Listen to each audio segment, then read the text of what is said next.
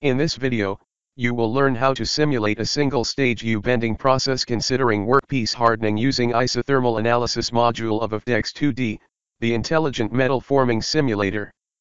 Let's get started with the process type first. Since the deformation of the workpiece is insignificant in the third dimension when compared to the planar deformation, we will carry out a 2D plane strain simulation. The temperature change is neglected in the simulation. The information about the material is given on the left side. The dimensions of the workpiece are as shown in the figure on the left. The material of the workpiece is a stainless steel grade and its initial temperature is equal to that of room temperature. Anti-corrosive oil-based lubricant is used as a lubricant in this forging process. Therefore a corresponding friction formulation will be selected. A constant velocity condition will be used in the simulation because the material is rate independent. The spring-back phenomenon will also be simulated in this tutorial. The problem definition is complete. The result of the simulation would be a U-shaped sheet as can be seen on the right side. The final shape of the sheet after spring back can also be seen here. So now, let's see how we can simulate this process using AFDEX. Double-click on AFDEX icon to execute AFDEX in your computer. Click on New to define a new process.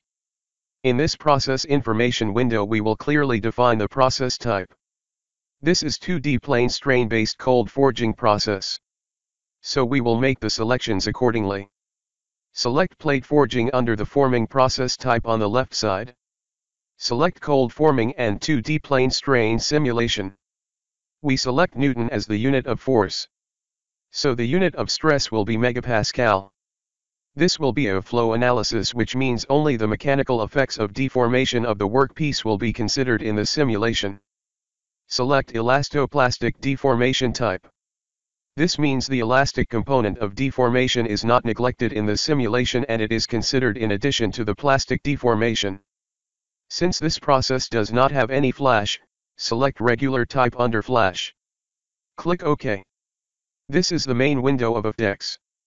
We will use the toolbar to set up the simulation step by step. First step is to import the geometry. Click on Model, from File and then select the geometry file in DXF format. Click Open. This opens a new window, displaying the geometry file. Click OK. In the prompt window that opens, click Yes to make the overall process automatic. Note that you can get this geometry file inside your AFDEX installation folder. Let's move on to the second step which is to define the material property. Click on Material, from Library and then select Stainless Steel. Under the stainless steel grades available, select DP780 and then click Load. This will load the material into the simulation. Now click Close. The third step is to define the press machine type. As you know, we will use a constant velocity condition.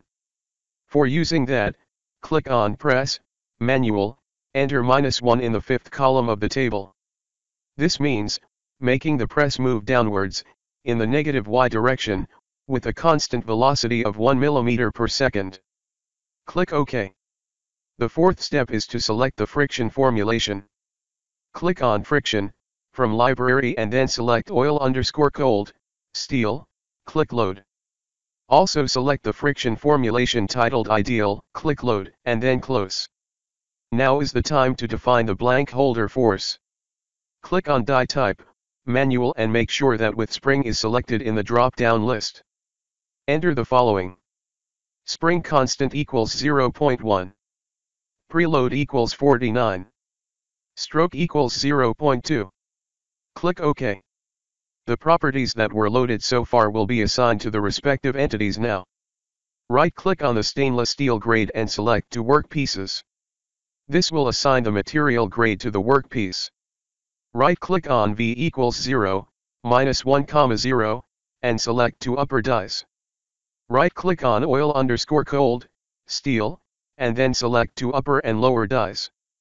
Select ideal, drag it and drop it on upper die 2 and lower die. Select k equals 0.1, drag it and drop it on upper die 2. Now we have completed the definition and assignment of properties to the dies and the workpiece. The next step is to position the dies properly. For this, we will use the Positioner tool of AFDEX. Double-click on Stage 1 and click on Positioner icon on this toolbar. Click Auto icon. This will enable automatic positioning of the dies. Click OK. Before we move on to the stroke definition, we will use the Auto Grid function to refine the mesh generation. To do this, double-click on the geometry file titled Circular Cylinder below Workpiece. Click on Auto Grid. This opens a new window. Now select user defined and then enter the following values. Under the flow lines. Next to horizontal enter 24. Next to vertical enter 2776. And below regular grids. Enter 695 next to horizontal. And enter 7 next to vertical. Click OK. If you remember, we had selected elastoplastic deformation at the beginning of this tutorial. So we will have to define an option for the die contact treatment in this analysis.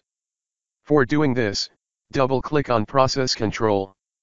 In the Process Control window that opens, click on iDefault. Scroll down to iDefault 32 and enter a value of 1 next to iDefault 32. This will enable the option for the die contact treatment in the case of an elastoplastic analysis. We will also disable the automatic remeshing in this example. So click on remeshing and then select none from the drop-down list and click OK. The next step is to define the properties such as stroke and the number of solution steps. Double-click on Forming 1. This will open the Forming Control window of Stage 1. Select distance from the drop-down menu next to Stop Criterion and enter a value of 19.7. Then click on the three dots next to this distance value. Select the two nodes as can be seen in the screen one point on the upper die and other on the lower die. The order of selection does not matter. This is the stop criterion for this stage, meaning that, when the distance between the upper and lower die reaches this value, the solver will automatically move on to the next stage. After doing this, click on Output Divisions. We will increase the number of solution steps used in the simulation. Select User defined below number of solution steps. Enter a value of 300. Now click on Reset and enter a value of 0.08 in the field below Effective Strain. Click on Spring Back and select Spring Back Analysis from the drop-down list and enter the following values. Multiple of steps equals 2. Number of solution steps equals 10. Click OK. We are almost done with the simulation setup process. We just have to save the simulation, check, and run it. Click on the Save icon, enter a file name. And then click Save. Your simulation file is now saved. The final step is to check the simulation to see if we have set it up correctly. Click on the tick mark button on the toolbar. In the window that opens, click Check. This will let you know the error messages if there are any. The notice messages can be ignored at this step. After making sure that there are no error messages, click Run.